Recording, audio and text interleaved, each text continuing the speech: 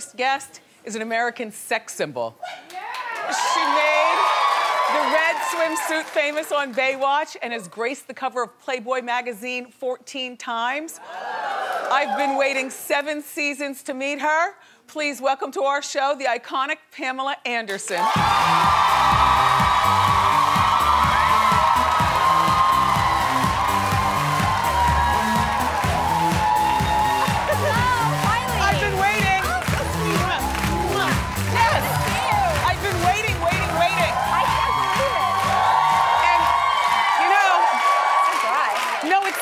You know what? Let's give you some Pam shoes. Put your But these shoes aren't my on. Pam shoes. These are Stella McCartney, so got to give her some love too. Okay, then these put are it- still vegan. You vegan? Uh-huh.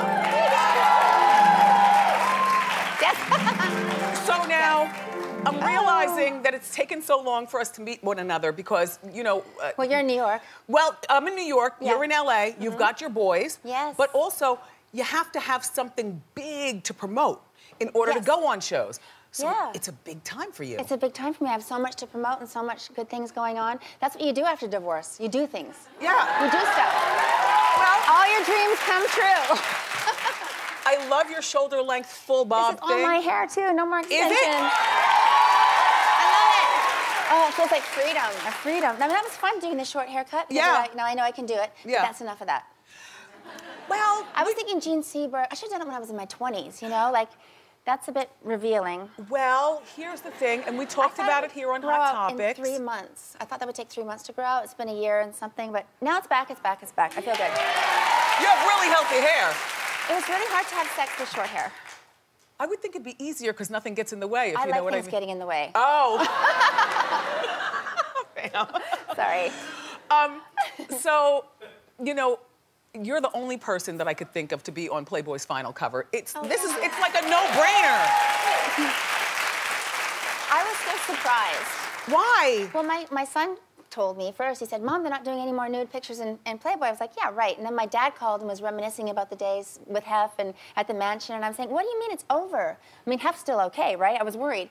And then uh, the next phone call was from Hef. And he said, I nobody else. I want you on the cover. And it's, I, was, I, I understand why they've done this, but it's bittersweet because it was such a lifestyle. I mean, it was, uh, the Playboy Mansion was like my university. Yeah. It was full of intellectuals.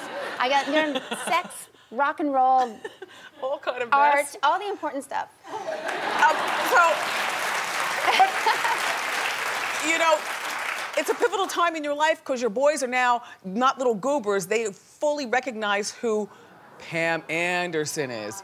Yeah. It was funny when they were little. Well, oh God, they're so big. Anyway, they're little. Um, they, I remember they came off surf camp and they were coming up. They were six years old, or whatever. And they Surf came up and they said, "Are you Pamela Anderson?" I said, "Yeah." And they go, "What is that? Like, what? Why are these people saying these things?" And they were just kind of, you know, at career day, they would say, "Mom rescues animals, and my dad's a rock star." So they just thought you were an animal activist. Yes. Your boys had no idea. No, I never, and I still don't really tell them every single thing that I do. I mean, I'm more concentrated on them. I hope not.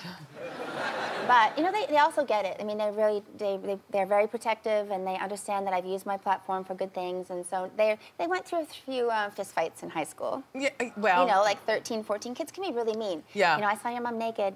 So what? yeah. Is it true that one of them was conceived at the Playboy Mansion? I'm sure. I think the red room. Yeah, yeah. Um, you and Tommy sex tape, my husband and I insist. The, no, I've never seen it, and I will never see we it. We have. I lived it. It was the best one of all time. It, Oh, because on- it was innocent, probably. It was so innocent. No, because we didn't do it to sell it. Right. You know, it was stolen. A whole a refrigerator the size of a safe was stolen out of our place, and we didn't know because we had it behind a carpeted wall and construction was going on.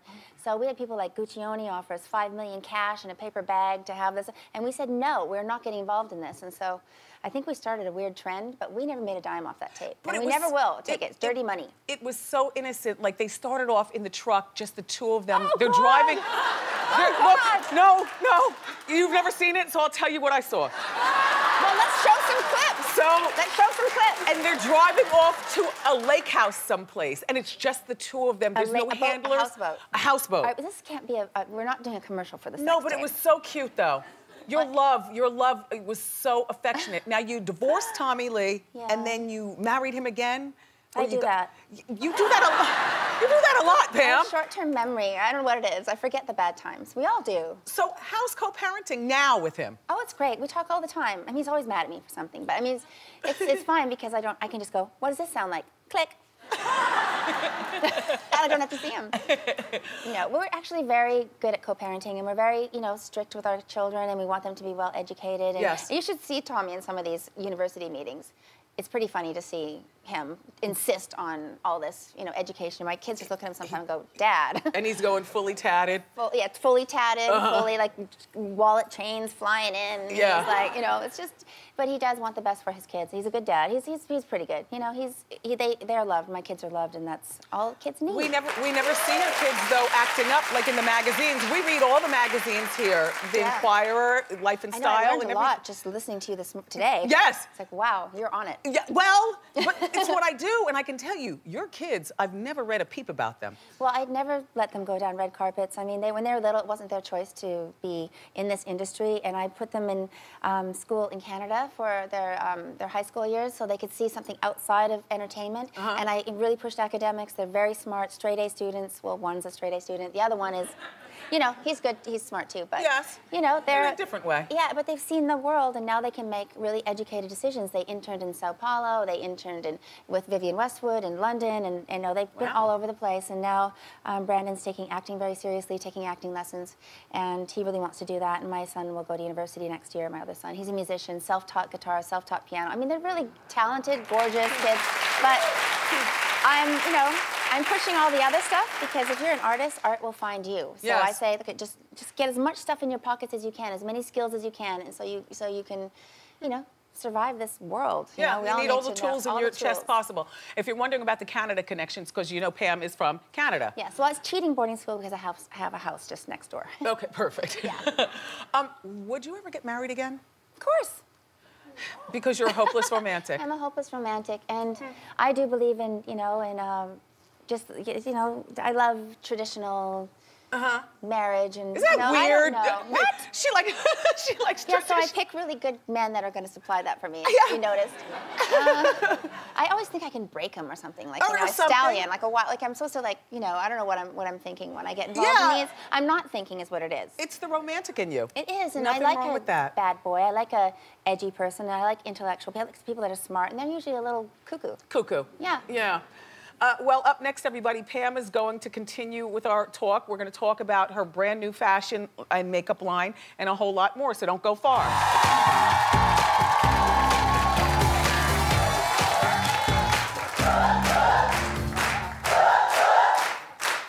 I, I can't. believe- You're looking at them. Yeah, it's okay. No, you know what I'm doing.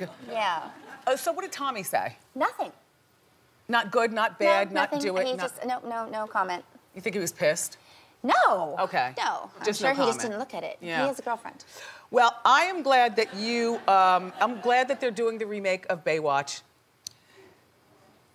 I have a suggestion for if you want to be in it. Money.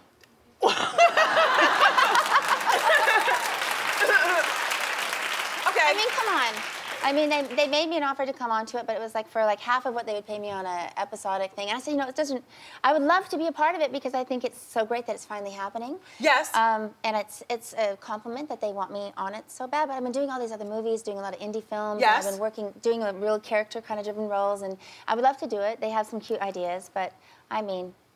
The Rock, all these people are doing this. They can, they can. Zac Efron and stuff. You know, Well- they can, they can, they can offer me something respectable. Were they asking you to put on the red bathing suit? I didn't even know. We didn't get that far. Because I wouldn't do that, Pam. No. All right, here's Yeah. my thought. Okay, what's your thought? Okay. My thought is don't Olsen twins them. You know, the Olsen twins didn't go on Full House. Yeah, no, reboot. it's not that I don't want to do it. Exactly. I just think that they can I'm glad. help. You know, it's, I think it's, it's, it's about respect. Here's what you do. What? So you're at a luncheonette.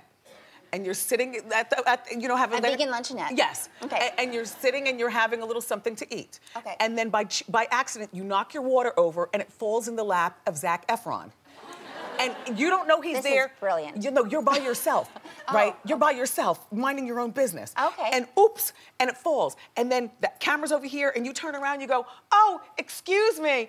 And, and then turn back around, and that's your cameo. See what I'm saying? Okay. That's it.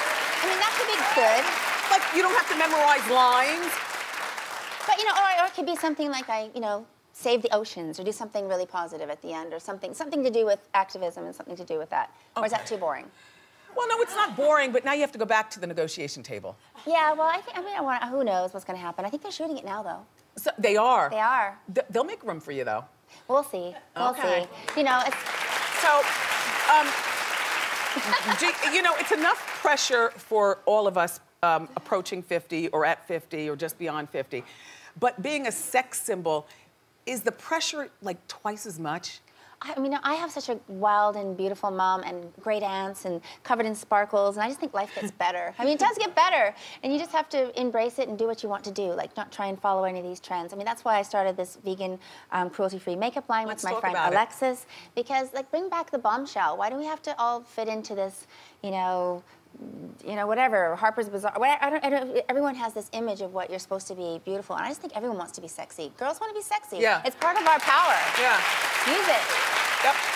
Yeah, and it's, you know, I didn't want to ever have my own brand of stuff because I think a lot of celebrities pretend they're designers, and I'm not into all that. So they do all the hard work. Right. But I really wanted to have some vegan products available for people. And I know shoes is a big thing. It's hard to find vegan, sexy shoes. So I Mm. did them with Amelie Pichard. Then the Pammy's boots I did because I made those stupid Ugg boots popular, and they killed animals for them, and I didn't know. I thought they were being shaved nicely in a hair Oh. salon, reading magazines. I, didn't know. I remember when Brandon was born, I used to see you and Brandon running across Malibu, and he was a little boy, your, Yeah, your son, yeah. with Ugg boots. Right. And I'm like, oh my God, look at the little boy with Yeah, Uggs. but now I've made them out of electronics, out of TV screens, out of um, What? you know, they're made out of electronics.